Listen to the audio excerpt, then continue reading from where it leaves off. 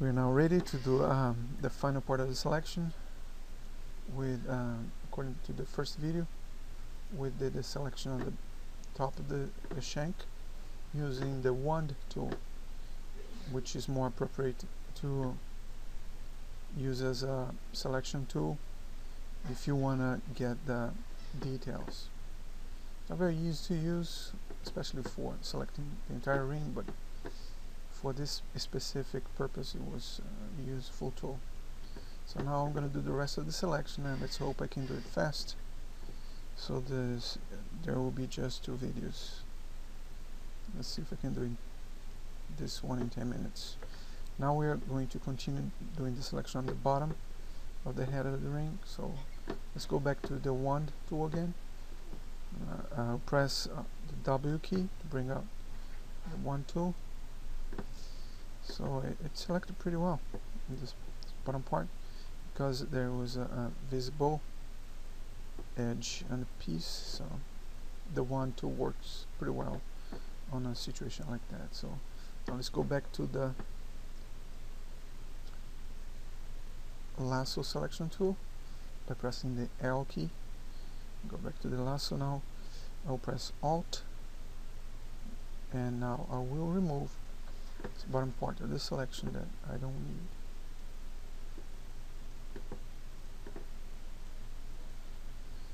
So I'm gonna now I'm gonna press shift to add this part. So here we are. So now I can press uh, Control C, Control V, and now I have uh, all those this uh, all the parts of the ring now you know they're now object all, all the selections are now objects. So now I'm going to press Ctrl E merge the this object. So now I'm ready to do the rest of the selection by hand. So now uh, in order for me to turn this into a selection I press and hold the control key and then I click on the icon of the layer. Then uh, everything on the layer here becomes uh, a selection. So now go back here hide this and uh, let me finish the selection of the head ring. Press alt key roll the wheel on the mouse to zoom in. So now let me finish by pressing shift add the selection.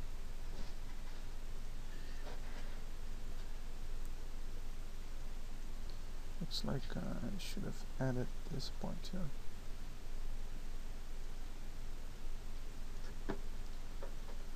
Continue here. This part of the selection, since it is doesn't have a lot of milgrains, it's not a big deal to select by hand.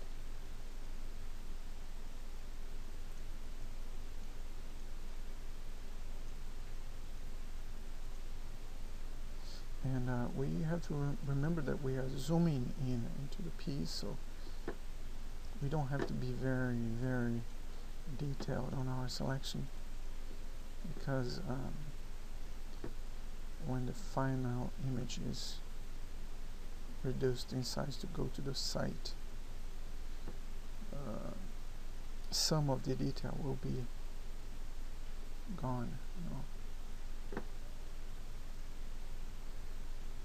But uh, it's always good to do a good selection.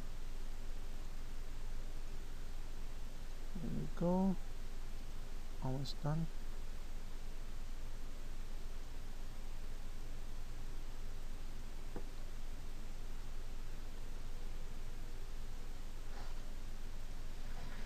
There were some uh, fibers that I can see while I was taking pictures that I now on the selection I remove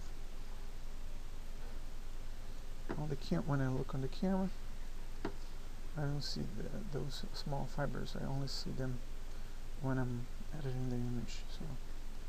Here's the time to remove those uh, stray fibers. So I have the selection all, all the parts of the ring that have a sharp edge were selected. Let me just go back zoom here using the alt key and the wheel mouse wheel press shift to add to the selection. Uh, let's go back here. I finished this because it was part of the ring that was um, had a sharp edge. Here on from here on the ring gets pretty and a little bit here too a little closer. But from here on the ring gets uh, has a very soft edge. So we're going to do the selection the bottom part of the ring as a separate selection. Go here. I think I should press alt and remove a little bit of the shank from here. So here we are. So now I have everything here. Control 0 Zoomed out. So now uh, I have the entire selection. I can uh, select uh, let's press Ctrl Shift I to invert the selection and just zoom in a little bit here before I go to the tool. So now I'll go to right click the refine edges. As you can see the edges are very sharp which is okay but even on the part where the edges are supposed to to be sharp they shouldn't be this sharp. I usually bring the sharpness down to 2 percent 2 pixels. Uh, 2 pixels for this size of image that I've been working on 2% is okay. But also increase the contrast a little bit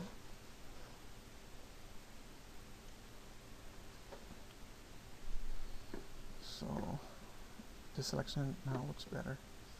So now it's time to control 0 to zoom out and control shift I to bring the selection back the way it was before I inverted the selection.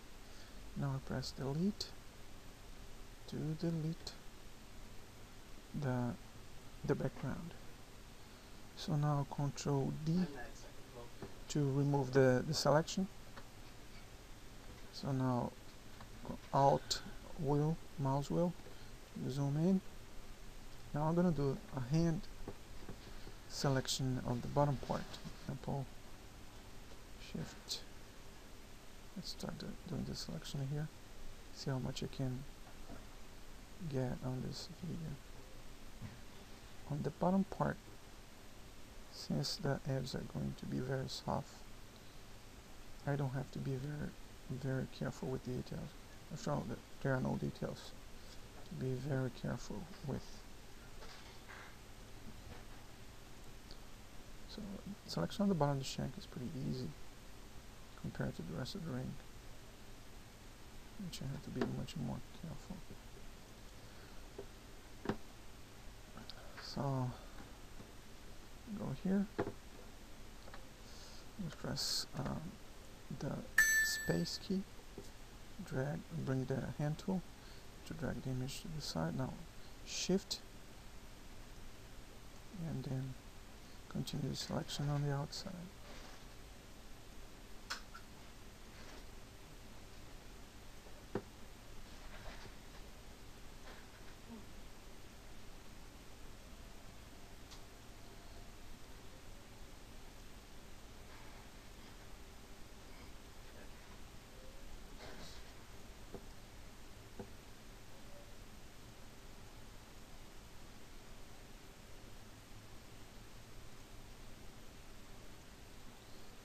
Very cool.